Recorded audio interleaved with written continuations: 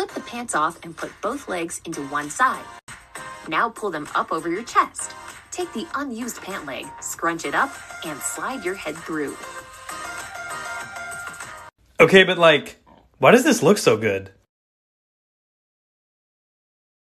Slip the pants off and put both legs into one side. Now pull them up over your chest. Take the unused pant leg, scrunch it up, and slide your head through.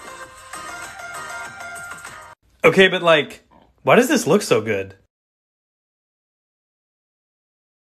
Slip the pants off and put both legs into one side.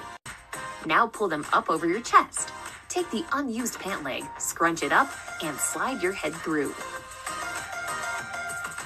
Okay, but like, why does this look so good? Slip the pants off and put both legs into one side. Now pull them up over your chest. Take the unused pant leg, scrunch it up, and slide your head through. Okay, but like, why does this look so good? Slip the pants off and put both legs into one side. Now pull them up over your chest. Take the unused pant leg, scrunch it up, and slide your head through. Okay, but like, why does this look so good?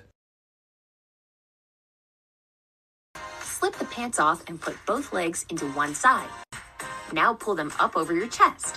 Take the unused pant leg, scrunch it up, and slide your head through. Okay, but like, why does this look so good?